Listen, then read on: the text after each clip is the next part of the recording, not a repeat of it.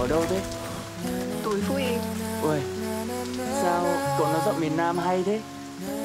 Muốn về sống ở đây thì phải tập thôi Anh vô đây lâu chưa? Tôi mới vào được vài tháng Vậy thì cứ từ từ Người ta biết mùa Sài Gòn thôi à tìm thấy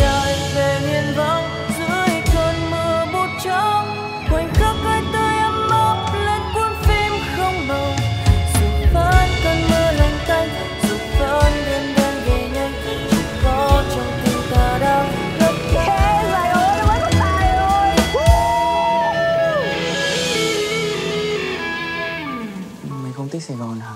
Sài Gòn dễ kiếm tiền mà. Sao mày ghét nó được? Chẳng qua cái gì tốt quá thì sẽ không có thuộc về mình. Nhưng mà dù thì khác. Mày có linh cảm dù sẽ thành công hết Mà theo mày, người thành công là người giàu có hay là người hạnh phúc?